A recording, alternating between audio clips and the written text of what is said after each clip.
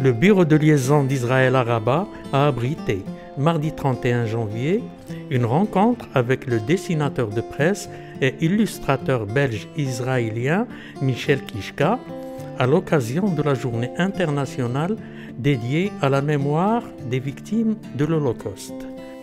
Euh, à la synagogue, c'était une cérémonie officielle. Je sais que ce n'est pas simple d'organiser un événement comme ça, mais euh, j'ai eu l'occasion de pouvoir prendre la parole devant toute l'Assemblée. Euh, j'ai vu l'émotion sur les visages. J'ai vu l'importance de pouvoir raconter, l'envie de savoir et d'écouter les réactions de tous les gens.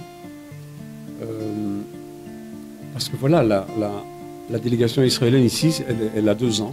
C'est quelque chose qui se construit et c'est là pour durer. Et, euh, et je pense que pour que des peuples puissent se connaître, c'est bien qu'ils connaissent leur histoire. Et, l'Holocauste, c'est une partie de l'histoire du peuple juif.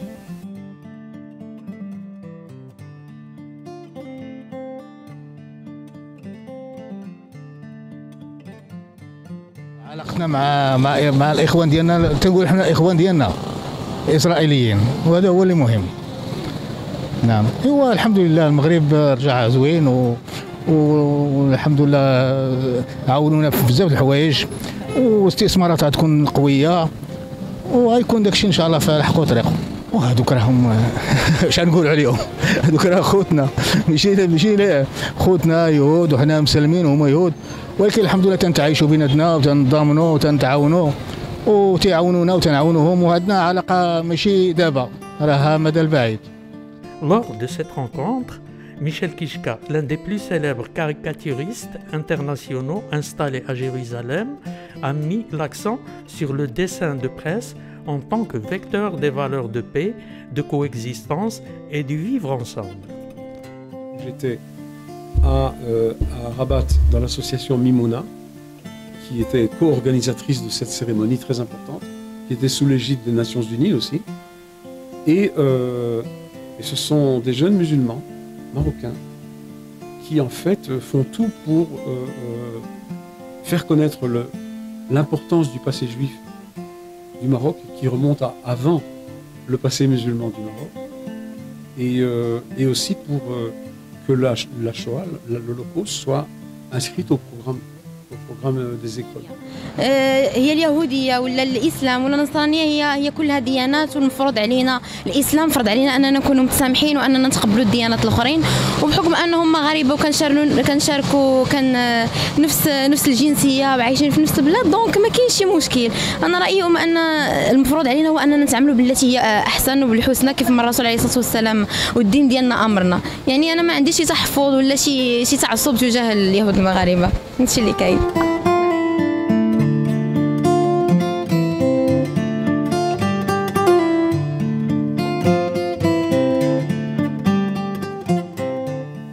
C'est aussi un, un, acte révolutionnaire C'est pas simple.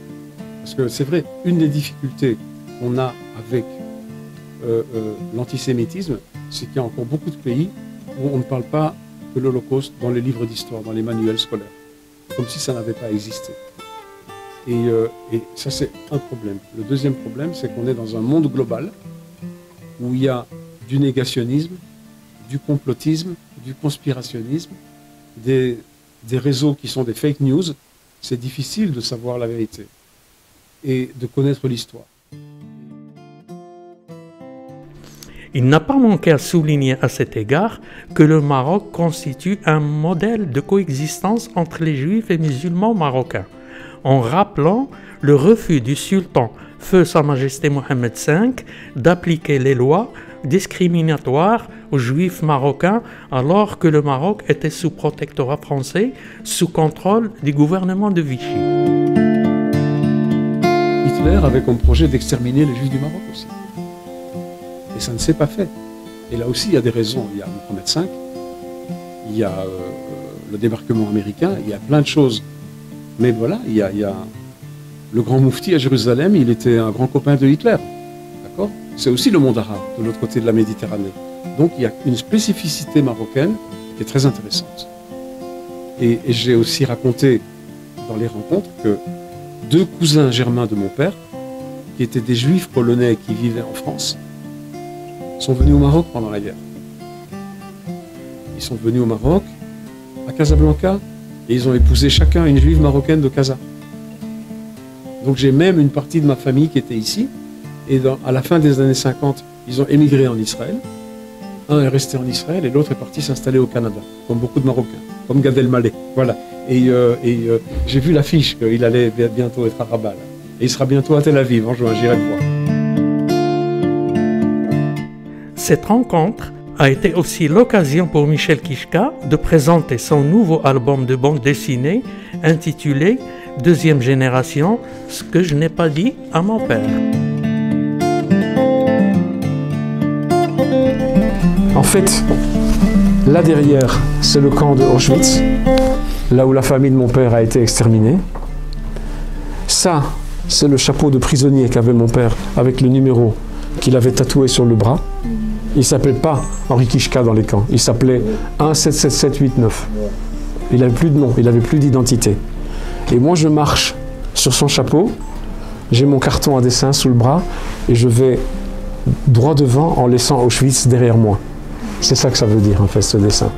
Donc c'est quelque part pour dire, voilà, ce passé est là, je sais qu'il est là, mais moi je vais, je vais devant. Donc je raconte l'histoire de notre génération. Nous sommes nés ma grande sœur, moi, ma petite sœur et mon petit frère, on est nés après la guerre, dans les années 50. 50, 54, 56 et 57. On est les enfants du baby boom de la libération, d'un côté, et d'un autre côté, tout ce que je raconte ici, ce sont des choses dont je n'ai jamais pu parler avec mon père. Donc maintenant, je le raconte. Mais je ne le raconte pas qu'à lui, je le raconte à tout le monde, pour que tout le monde comprenne ce qu'a été cette partie de l'histoire, le milieu du XXe siècle. J'aimerais bien qu'elle soit traduite au Maroc. Moi aussi. Ah, moi aussi, vraiment, beaucoup. Je vais voir ce qu'on peut faire. Ça dépend pas de moi. Si ça dépendait de moi, ça existerait déjà.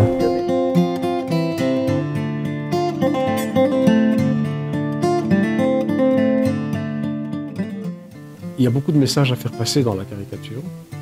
Euh, la caricature qui est finalement un outil de critique du pouvoir mais est aussi un outil pédagogique parce que depuis les attentats de Charlie Hebdo, les dessinateurs de Cartooning for Peace se sont engagés à aller dans des écoles, surtout dans les lycées, des gosses qui ont 14-15 ans et plus, pour, à travers des dessins, parler de ce qu'est la démocratie, la tolérance, la liberté d'expression, et que c'est une folie, qu'il n'y a pas de race. Ça n'existe pas, il n'y a pas de race supérieure. On est tous égaux. Et ça, ça me permet de faire passer aussi ces messages. Et je pense que je tiens cette, euh, cette vision du monde, quelque part aussi du passé de mon père. Il y a quelque chose dans la souffrance qu'il a dû endurer. Il a été arrêté en 1942 à l'âge de 16 ans à Bruxelles avec sa famille. Son père, sa mère et ses deux petites sœurs ont été exterminés. Il est le seul à avoir survécu. Donc il a payé cher sa, vie et sa liberté. Et on sait pourquoi c'est arrivé là. Il y avait toute une machine derrière ça. Toute une machine d'une nation extraordinaire au niveau civilisationnel, supérieure intellectuellement, qui est devenu le peuple le plus barbare d'Europe. Aujourd'hui, le danger, il est ailleurs, à mon avis. Il est dans les réseaux sociaux. Mais ça, c'est un autre débat.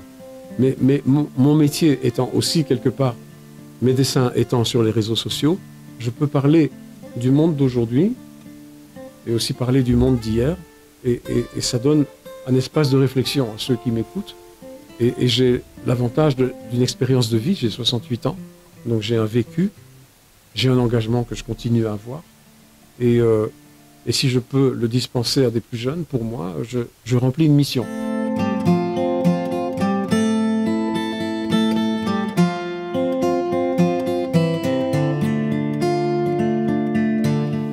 Tellement de choses à apprendre, tellement de choses à découvrir, et, ça commence par les relations humaines, tout simplement. Les relations, la, facilité avec laquelle on peut communiquer avec les gens. Et, la gentillesse, il y a la gentillesse dans le visage de tous les Marocains. Et puis il y a l'histoire de ce pays que je ne connais pas, et l'histoire des Juifs du Maroc que je connais très peu, qui est vraiment euh, quelque chose de très impressionnant. Euh, cette symbiose qu'il y a entre et, musulmans ici au Maroc. c'est quelque chose que j'espère que je, pourrai consacrer du temps à, revenir, à découvrir. Je disais à, à ces deux dames euh, avant que vous arriviez que ma femme est venue au Maroc en 2016 et qu'elle a couru le marathon des Monts Atlas, organisé par les frères Hansal. Et elle est revenue du Maroc en me disant Oh, il faut absolument qu'on y retourne. Alors voilà, j'y suis. C'est la première visite de Michel Kishka au Maroc, mais ça ne sera sûrement pas la dernière. Écoutez, c'est un pays que je connaissais pas, un peuple que je connaissais pas, et je suis émerveillé par ce que j'ai découvert. Et j'ai qu'une envie, c'est de revenir. Vraiment.